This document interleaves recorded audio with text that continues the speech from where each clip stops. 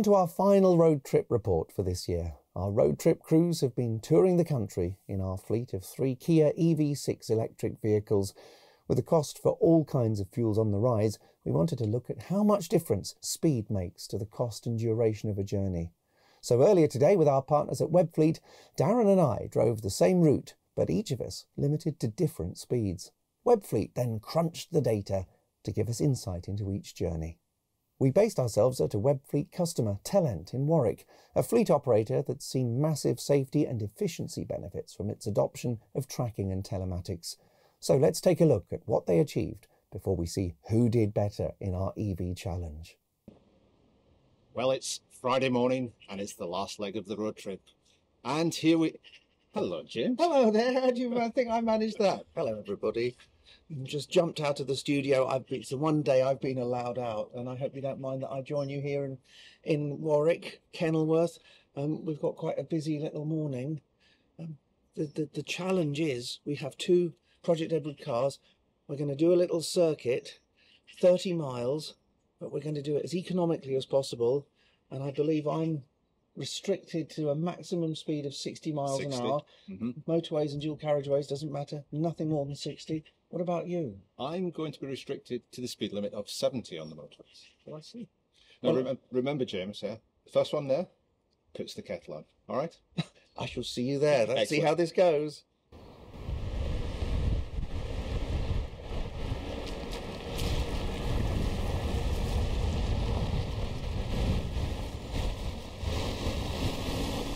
Be heading up to the top where you've got the M42 west and north.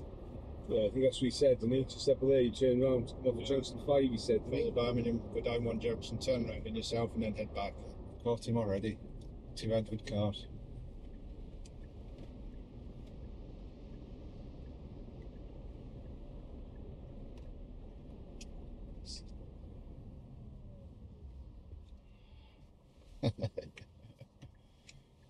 Wonder when he realises he's got Edward behind him. Put your light back on. Yeah. So quite quite basically, we've got to the halfway point now of 20 miles down the road, mm. and we have just caught up with the number one car. Again, reminding you, we are in car two going at 70, and James in car one is going at a maximum of 60 miles per hour where permitted.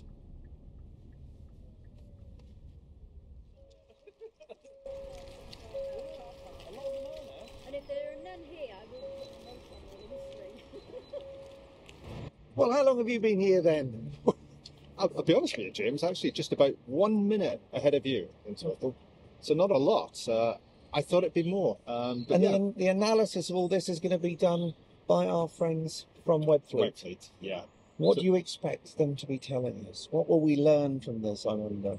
There'll be a couple of things, no doubt, in terms of the auxiliary equipment we had on in the car. I don't know if you were feeling warm and comfortable. Um, the cars were both set to eco. That that we made sure. Um, I didn't have any aircon on the car. I was just using the heated seats today, so that should give us some good feedback. Um, driving style, as you said, there wasn't a lot of uh, traffic there, so there wasn't too many interventions of coming in and out. I think it's going to be very close, I think. Good. Well, I need to head off now to Gloucester and to Stroud because I'm, I'm meeting Nigel and the team from the Older Drivers Forum in Gloucestershire. Yeah, well, thank you for having me along. No worries, it's been great. As I say, we'll have a, a further look now with the data with the team here and we'll report back later. Thank Excellent. you. Thank, Thank you. you. Have a safe trip. Cheers. So it's um, the final day of our road trip um, for Project Edward this week. And it's kind of sad in a way, but at the same time, I'm also looking forward to understanding more some of the data um, that's driven the vehicles throughout this week through our partner, Webfleet Solutions. And uh, we're going to try to unpack that now and give you some insights into what went on. Bearing in mind as well, the theme for today is about post-crash care. The way we're going to talk about this is that after any incident or after any intervention, it's probably equally as important that you analyse that data and study it as some form of continuous improvement. So we've had quite an eventful week this week so far, Richard, yeah?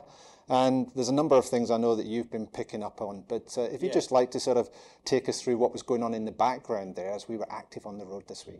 Okay, so um, we've put our equipment into the three vehicles you've been running for the week. So with a specific objective of gathering data and gathering information that we can then feed back insights and feed into this overall project for the week in terms of each theme for the day, what we want to do. Um, so I guess if we roll back to the beginning of the week, you know, we've, we've put you've gone into three wonderful EVs. You know, we new new technology, and, and not everything is necessarily perfect in the world of, of EV. We'll maybe cover that later. We weren't just driving a car; it was an office for us for the week. Mm. So we had mobile phones charging, we had mm. cameras charging, we, we, had everything going on. The, the aircon was on, the climate control. We thought mm. it was mm. fab. Mm. So I don't know what you saw there in the background in terms of what was going on in terms of our consumption. But we saw that. we saw it, and, and you know, the thing for today is is about post analysis of incidents. So, yes, I'm grateful we never had any incidents of anything to be worried about over the course of this thing. But we did see, you know, really some very surprising um, energy consumption data from your vehicles, um, so much so that your, if you like, your equipment level consumption was the same as your driving consumption. So, feeding on about how we deal with this, you know, you and I had a conversation. Um, I think it was Tuesday or Wednesday, um, we explained what was going on, and actually, what we saw Thursday and Friday this week was a fundamental shift in actually your consumption levels of that ancillary equipment. And as a result, your efficiencies went right up. So if we translate that across a broader um, spectrum of information, then the way you communicate with those drivers, the way you engage with them and help them understand the impact of their actions can easily lead to change and improvement.